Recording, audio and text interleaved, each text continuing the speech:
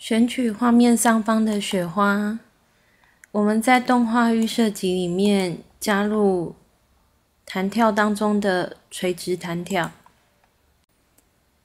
在下方打开显示动画预示图，我们将雪花先拉出去页面范围外，点击一下路径，当它动画掉进来的时候，雪花刚好会垂挂在页面的上方。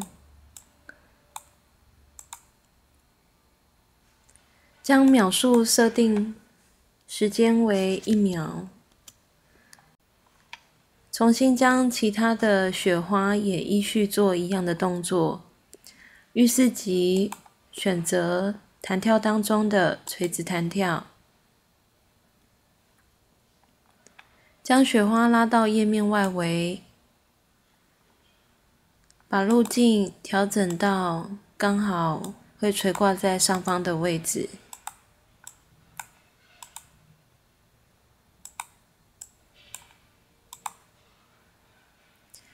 将时间秒数调整为一秒。完成后，将计时器打开。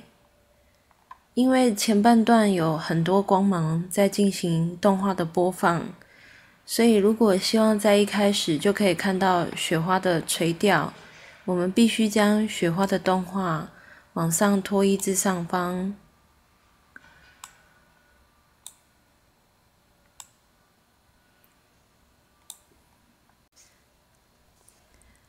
浴室。如果希望雪花可以在不同时间进行播放，只需要重新分布计时器就可以了。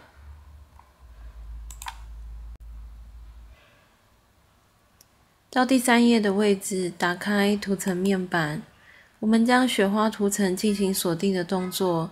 打开图片图层。首先，我们选到 "I love you" 这一组图片，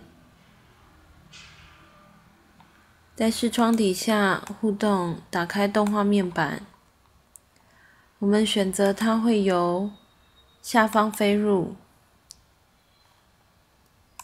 调整一下它的位置，或者是路径。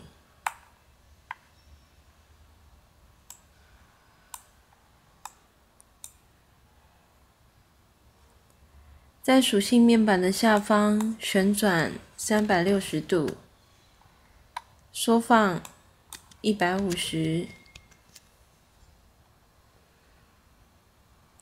完成后，我们在事件的地方取消载入页面，点选按钮触发器。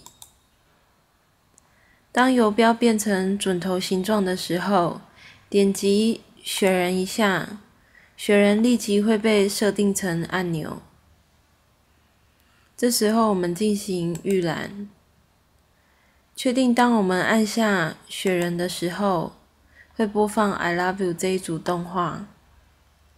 接下来，我们还要将雪人的按钮触发的时候会播放音效。我们在档案底下进行。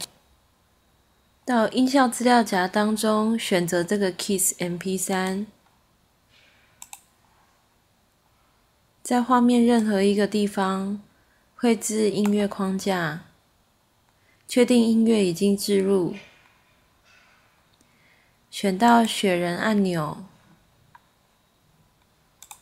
在按钮面板当中，我们新增一个动作，声音。选择画面当中的 Kiss MP3，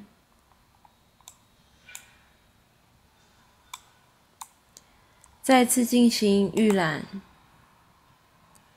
当我们按下雪人的同时，会发出一组音效。